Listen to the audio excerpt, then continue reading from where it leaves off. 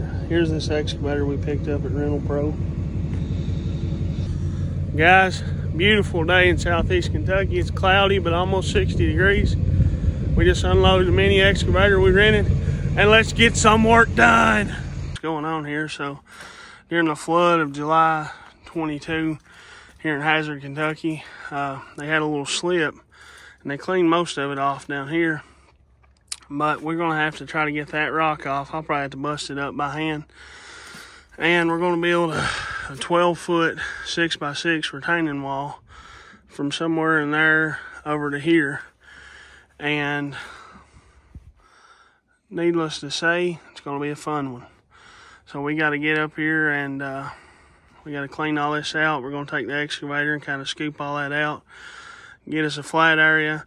Then we'll dig a small ditch to put gravel in to set our first post on. And then we'll build us a 32 inch tall retaining wall. Let's get with it. Guys, so the excavator only reached so far. It'll only reach to about right here. They had a big rock up here they wanted busted up. I busted it by hand. And now we've been shoveling this pile. I like to take it back a little bit more and I'm just shoveling it over here and then I can grab it with the excavator.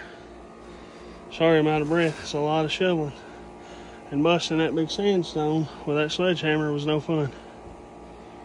Morning folks, we're back here on this retaining wall job and I'll just give you a quick update what's going on. It rained pretty hard last night but the hillside held on. We tamped this uh, down with a hand tamper, getting ready to put a layer of uh, landscaping fabric. That's the heavy dutier stuff and uh, we'll put 57s on them and layer them three inch lifts and compact them in. We got a trailer full of gravel over See here we're putting uh, silk fabric up and then putting uh, well what we're trying to do is keep mud out of it. And I just put a little mud in it but a little bit ain't gonna hurt. We're trying to keep a lot out of the rock.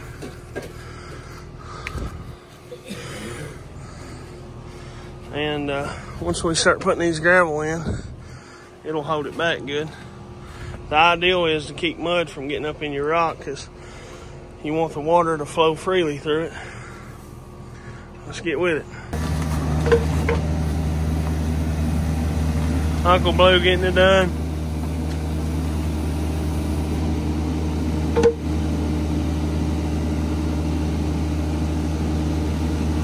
Put gravel in it.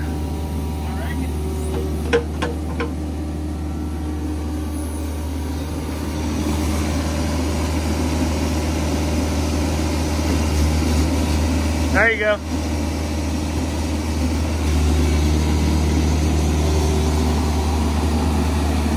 Hey, you got like a half inch between that and that wall. That's what you call close.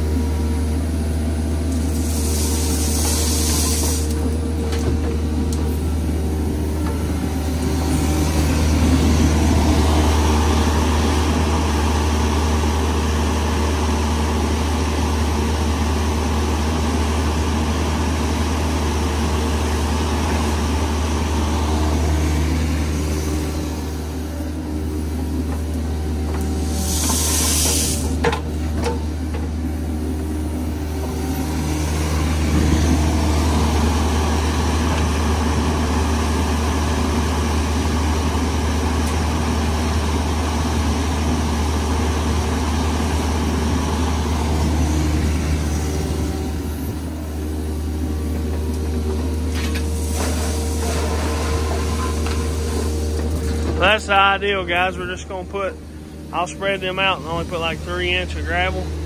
And then uh, I'll take this hand tamper and compact them super good. And we'll do that all the way up.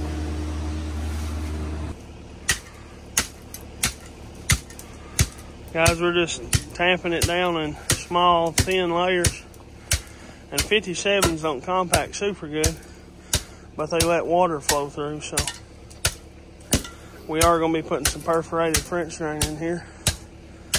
But we do want to compact them some. So guys, we got it up to the level we wanted and uh, we got it compacted good. I'm gonna show you here. We got her good and level. And now we get to start building the wall. We're gonna drill holes and drive four foot rebar in this first one down in the ground. And uh, half inch, four foot, half inch rebar. And that'll give us, uh, our first board will be the one that's kind of tied to the ground.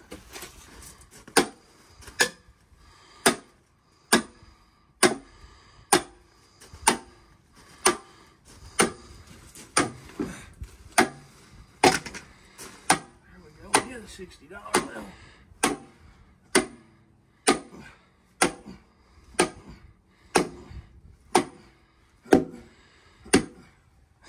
One more for good luck.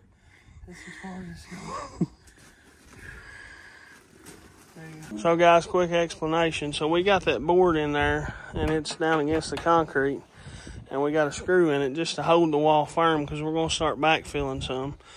And uh, the actual strength of these walls come from your dead men that go back into the wall. And we got our perforated French drain pipe and we're getting ready to uh, put some rock over it and then we'll put more of that uh, landscape fabric and to keep mud out of the rock. And uh, we'll just have this turned right here where it shoots out. And there won't be a ton of water come through it, but water can seep out of that. So guys, look here, we got, uh, he's gonna be putting some more gravel in there, but we stapled this fabric up to the post just to hold it there. And so now if you could see what I'm saying, this is completely wrapped, the gravel are with fabric. No mud can get to the gravel and that'll make, that'll ensure that down there at that French drain, that perforated four inch pipe, and we got that slope going towards that with gravel but that will ensure that we have proper drainage and that'll keep that water from just washing this out once it's done. After we put some gravel in, we'll dig into this hill and we'll put us a couple dead men in and uh, maybe three dead men and that's where we actually run six by sixes back to here and then put little cross members on them. And then when we backfill into that, that's where strength comes from, is actually from those dead men that's going back into the backfill. It'll make sense once I show it to you.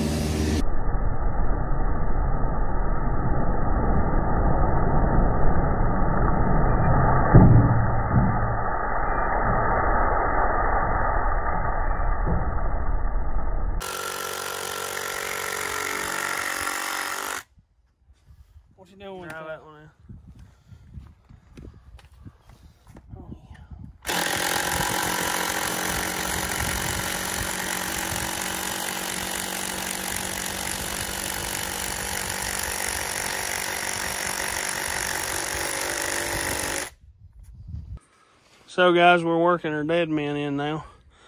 And uh, those just go back into the field and hold the wall. And uh, you can see I'm taking my square and making a square line. And that way I got the face of these squared.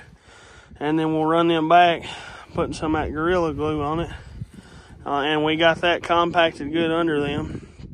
And we're putting two structural screws there two structural lag screws here and you can already see that glue working on that one and uh, blue's over here working what we're doing is is digging back into the original ground and we're laying a level across.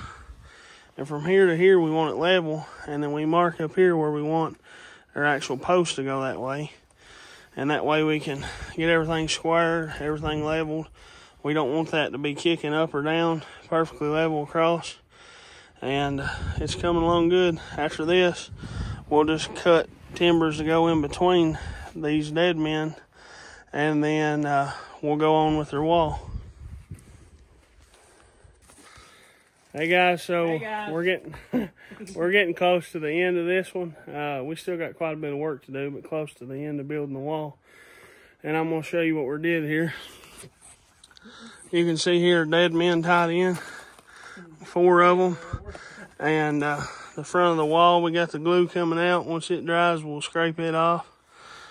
But we're getting ready to start backfilling. I'm gonna dress this end up a little bit, and. Uh, he, we built a little staggering wall over there to hold the dirt on that side. And we'll pull some of that down to fill that part in. And then we'll backfill this and have kind of like a swale. And then water can drain through go through the gravel out the pipe. That's our goal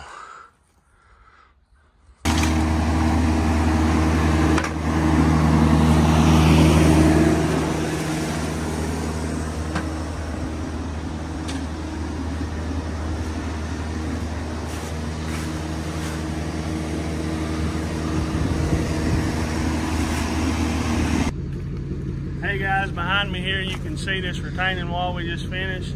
I'm wore out, tuckered out as they say right here in the mountains. But it looks good. Uh, me and my brother, he came out and helped me today. I started on it by myself yesterday. But we got her knocked out today. And uh, I just want to let you guys see what it looks like, finished project. So here we go. I'll show you.